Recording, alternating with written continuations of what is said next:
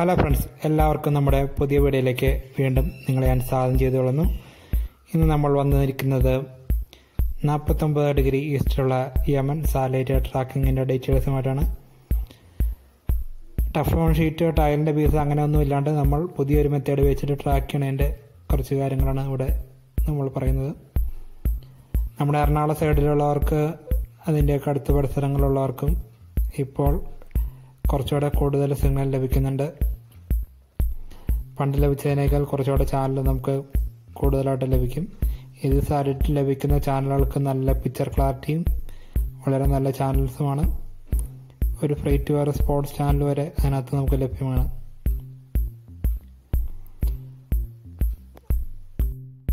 മലബാർ സൈഡിലുള്ളവർക്കാണെങ്കിൽ കൂടുതൽ സിഗ്നൽ ലഭിക്കുന്നതാണ്.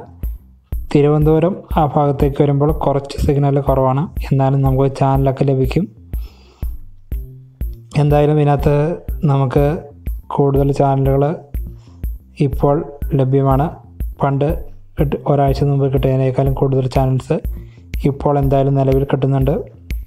ഇത് നമ്മുടെ സാധാരണ വെർട്ടിക്കൽ ഹോർസോണും ആ ടൈപ്പ് സിഗ്നലല്ല ഇത് ലെഫ്റ്റ് ആൻഡ് റൈറ്റ് സിഗ്നലാണ് അത് നമ്മുടെ എൽ എം ബിയുടെ ഉള്ളിലാണെങ്കിൽ ടെഫ്ലോൺ ഷീറ്റ് ടൈൽസിന്റെ പീസ് അല്ലെങ്കിൽ ഗ്ലാസ് അല്ലെങ്കിൽ ഞാനിപ്പോൾ ഇവിടെ ഉപയോഗിച്ചിരിക്കുന്ന അങ്ങനെ എന്തെങ്കിലും സാധനങ്ങൾ ഉപയോഗിച്ച് എല്ലമ്പിയുടെ ഉള്ളിൽ വെച്ച് കഴിഞ്ഞാൽ മാത്രമാണ് ഈ left and right signal vertical ഹോർസോണുമാക്കി നമ്മുടെ സെറ്റ് ബോക്സിലേക്ക് ലഭിക്കുകയുള്ളൂ. എങ്കിൽ മാത്രമേ നമുക്ക് ചാനൽസ് ലഭിക്കുകയുള്ളൂ.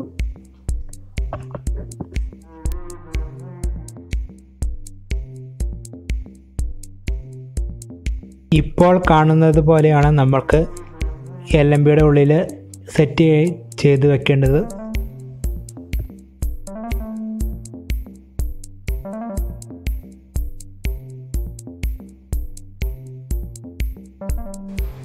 ഇപ്പോൾ നമുക്ക് മീറ്ററിൽ അറുപത്തൊന്ന് ശതമാനം വരെ സിഗ്നൽ ലഭിക്കുന്നുണ്ട്.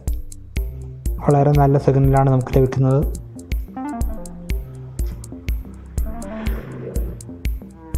ഈ സാലറ്റിന് മറ്റൊരു പ്രത്യേകത നമ്മളെ എൽ എം ബി കുറച്ച് അങ്ങോട്ടും ഇങ്ങോട്ടും മാറിയിരുന്നാൽ തന്നെ നമുക്ക് സിഗ്നൽ ലഭിക്കും. ഇതാണ് അതിന്റെ ഏകദേശം ഒരു അളവ്. കേരളത്തിൽ ഓരോ സ്ഥലത്ത് ചെറിയ ഒരു മാറ്റം ഉണ്ടാവും. എന്നാലും ഏകദേശം ഈ അളവിലായിരിക്കും നമ്മുടെ ഡിഷ് പൊങ്ങിയിരിക്കേണ്ടത്.